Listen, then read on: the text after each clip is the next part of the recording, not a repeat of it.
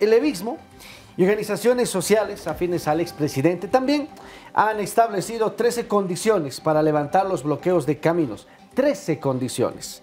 Eh, las familias enfrentan un aumento significativo en los precios de productos básicos y una escasez de combustible que ha generado malestar en la población.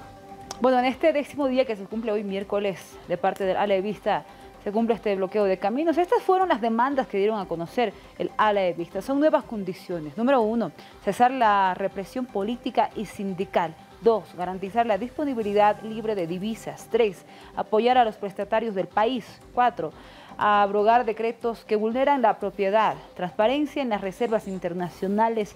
Sexto, regular el uso de biotecnología. Séptimo, claro, acelerar la industrialización del litio, pide la levista. Octavo, gestionar créditos productivos con tasas de intereses accesibles. Número nueve, instalar el referéndum inconstitucional, o más bien rechazar el referéndum inconstitucional. Número diez, respetar al Congreso del Movimiento al Socialismo y PSP. Número 11, respetar la institucionalidad de la Asamblea Legislativa y otros órganos. 12, respetar también la institucionalidad de, nuevas, de nuestras fuerzas, fuerzas Armadas y la Policía, dice. Número 13, defender las organizaciones sindicales legítimas.